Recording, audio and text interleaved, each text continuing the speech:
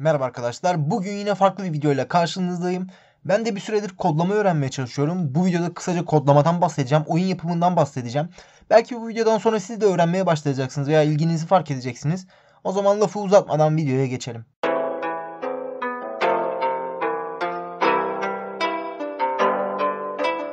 Oyunlar oyun motorları sayesinde yapılıyor yani sadece kodlama bilmek yetmiyor. Belki duymuşsunuzdur indie yani bağımsız oyunlar genel olarak Unity ve Unreal Engine oyun motorlarıyla yapılıyor. Ben Unity öğrenmeye çalışıyorum. Unity bana daha kullanışlı ve daha yaygın gibi geldi. Bu şekilde başladım. Zaten bildiğiniz çoğu oyunda Unity oyun motoruyla, Unreal Engine oyun motoruyla yapılmış. Ee, tabii ki ben de daha başlangıç aşamasındayım. Unity zaten programlamanın basit yüzü. Unity programını öğrenmek çok zamanınızı almaz. Asıl öğrenilmesi zor olan şey kodlamadır. Bir oyun yaparken gördüğünüz her şey kodlama ile sağlanıyor. Mesela bir karakterin görüntüsü var. Bir görüntüyü oluşturmak için kodlama öğrenmenize gerek yok. Görüntüyü tasarımcılar yapıyorlar. Siz eğer kodlamacıysanız o görüntüyü hareket ettirirsiniz. Yani tasarım tek başına bir işe yaramaz. Kodlama da tek başına bir işe yaramaz. Ben nasıl öğrenmeye çalışıyorum onlardan bahsedeyim önce. Udemy sitesinin belki duyanlarınız vardır. Bu sitede bir konuda kendinizi geliştirmiş kişiler parayla ders satıyorlar. Ben de Unity ile oyun yapmak için buradan ders satın aldım. Ama sitede ücretsiz dersler de mevcut tabi. Yani derseniz ben para vermek istemiyorum ders için. O zaman sitedeki ücretsiz derslere de yönelebilirsiniz. Sitedeki dersler e, video şeklinde ama takıldığınız konularda derslerin sahibi size yardımcı oluyorlar. Soruyorsunuz, sorunuzu cevaplıyorlar. Ya da ders satın almış diğer insanlar sizin sorularınıza çözüm buluyorlar. Yardımcı oluyorlar. Bu şekilde öğrenmeye çalışıyorum ben de. Şimdi tekrar Unity'ye geçelim. Unity böyle bir program arkadaşlar. Burası sizin oyununuzu tasarladığınız bölüm. Burası da sizin oyunda gördüğünüz bölüm. Mesela rastgele bir şekilde bir şeyler oluşturalım. Burası 3 boyutlu ekran bu arada. 2 boyutlu oyunlar da oluşturabiliyorsunuz. Mesela işte bir tane yüzey oluşturduk. Burası yüzey. Buraya koyacağımız herhangi bir şey e, sizin oyunda görünen yerinizde olabilir. Mesela bu ta- tavan olarak kullanabilirsiniz burayı. Yani mesela şimdi bir tane de küp oluşturalım. Evet. Kameranın açısını falan da ayarlamak gerekiyor tabi. Şöyle yukarıdan mesela görünmesini sağlayabiliriz. Evet. Şöyle bir de döndüreyim bu kamerayı. Bakın oyunda bu şek oyun bu şekilde görünüyor yani. Şu an kamerayı bu şekilde ayarladım. Oyunu eğer oyununuzu başlatırsanız e, oyununuzu oluşturduğunuz game. Kameranız bu şekildeyse oyununuzu bu şekilde görürsünüz.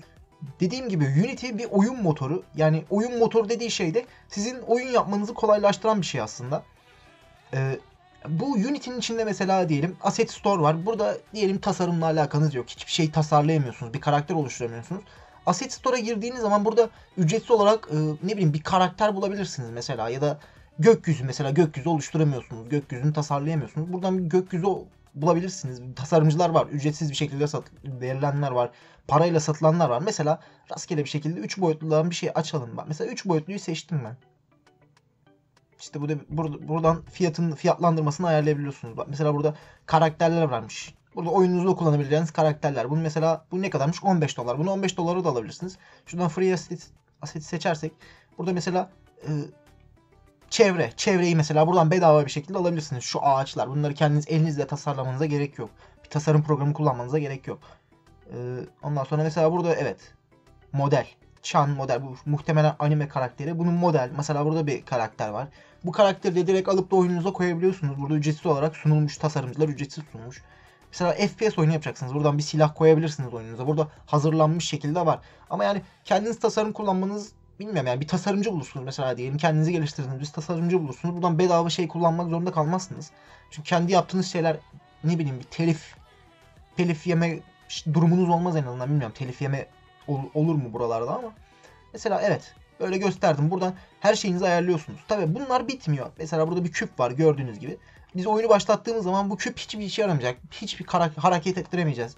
Ya da ne bileyim bu kamera hareket etsek bile bu kamera mesela bu kübü takip etmeyecek. Bunları ne yapıyoruz? Bunları kodlama şeklinde yapıyoruz. Burada ne kodlaması kullanılıyor? C Sharp adı C Sharp dili kullanılıyor bu Unity içinde. C Sharp işte bu yani C Sharp'ta şu şekilde kodlama yaparsınız. Mesela dersiniz ki kodda işte bu küp hareket etsin. Ya da mouse'la tıkladığınız zaman bu küp zıplasın. Mesela ben bir tane e, aldığım derslerden yaptığım bir oyunu açayım. Evet. Oyun burada. Şimdi oyunu bir başlatayım ben ilk önce. Basit. En basit oyun aslında bu. Ee, şu topun üstüne kendimi koydum. Evet. Bakın. Klavyenin tuşlarıyla WASD ya da ok tuşlarına bastığım zaman bu top hareket ediyor. Bunları da kodlarla yaptık. Yani topu tasarlamak basit. Topu normal bir şekilde 3 3 boyutlu bir model eklediğiniz zaman top şeklinde oluyor.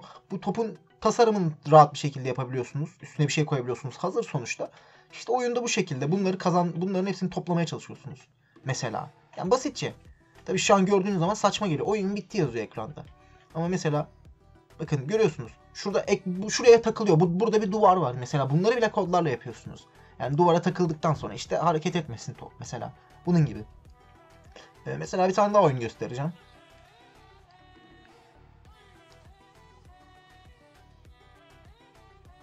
Evet burada bir Flappy Bird. Kendi kafamı koydum buraya. Bakın arka plan hareket ediyor. Bakın öldüm. Burada kodlama ne için yapılıyor mesela? Şunu göstereyim. Kodlama. Ben mouse'la sol klik tıkladığım zaman ıı, karakterim işte zıplıyor. Sol klik tıkladığım zaman. Bunu ben sağ klik de yapabilirdim. Mesela şu an kodlama olan yerler. E, şu boruların içinden geçtiğin zaman bir puan kazanıyorsun. Bir ses çıkıyor. Bunlar bile kodlamayla yapılıyor. Ya da ne bileyim bir engele takıldığınız zaman ölmeyiniz. Bu da bir kodlamayla yapılıyor. Yani dediğim gibi bu tasarımlar kodlama değil. Bu arka planda gördüğünüz işte arka plan ne bileyim borular ya da ben. Yani kolay. Bunları kodlarla yapmıyorsunuz ama bunların hareketini sağlamak kodlarla yapılıyor. Mesela o kod ekranını açayım ben buradan. Evet. Ee, kuşun kontrol script'i. Script dediğimde işte kodlamayı yaptığınız yer. Microsoft Visual Studio üzerinden yapılıyor buradaki kodlamalar. Mesela burada yazdığım bu sadece kuşun kontrolü. İşte kodları birazcık göstereyim mesela. Rigid body. Rigid body işte bir e, nasıl denir artık? Mesela şeyin nesnelerin içinden geçmemesini sağlıyor. Kuşun her şeyin içinden geçmemesini sağlıyor. Mesela burada işte dur bakayım. Bak hızı sıfır yaptık diyor mesela. Burada ben e, slash bir şekilde işte kodu hangi kodun ne işe yaradığını da yazmışım buraya.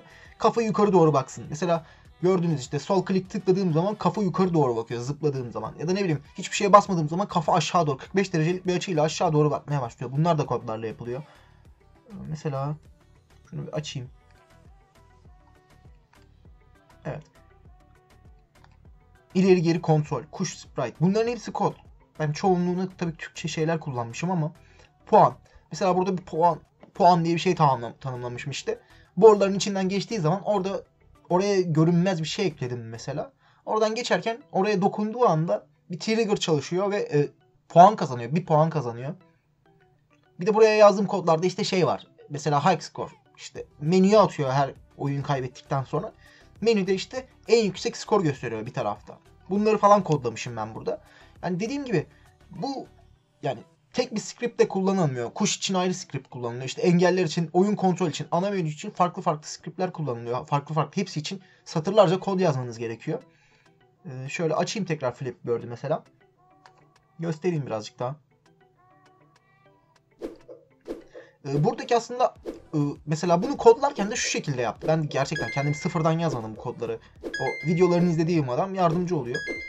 Ee, şu yukarılarda mesela görünmez engeller koyuldu. Mesela tava yukarı çıkmaya çalışayım ben. Yukarı çıkmaya çalışıyorum. Bakın yukarı çıktığım zaman da ölüyor. Orada görünmeyen şeyler var. Oralara bile kodlar yazıldı işte. Buradan geçerse e, ölsün diye. Mesela en yüksek skor 6 oldu şu anda. Burada mesela puanım 0. 1 yapayım mesela. Ya yapamadım da. mesela burada puanım 1 olsaydı en yüksek skorum yine gözükecekti 6 diye. Bu, bunu mesela bu arada bu yaptığımız programı sadece bilgisayarda çalıştıramıyoruz. İstediğiniz zaman mesela build ediyorsunuz. Ee, bunu APK şeklinde ya da ne bileyim bir iOS telefonunuzda oynayabileceğiniz şekilde de uzantılı bir şekilde de yapabiliyorsunuz. Yani ben şu an bu oyunu hem bilgisayarda oynayabilirim hem de telefonda oynayabilirim. Bunlar da kodlarla yapılıyor. Dediğim gibi mesela bu bunları kendiniz iki boyutlu bir oyun bu arada. Üç boyutlu ekranı kullanmadım burada. İki boyutlu oyunu kullan şey, ekranı kullandım. Böyle görüyorsunuz zaten burada. İki boyutlu. Az önceki şekil farklıydı. Şu andaki şekil farklı.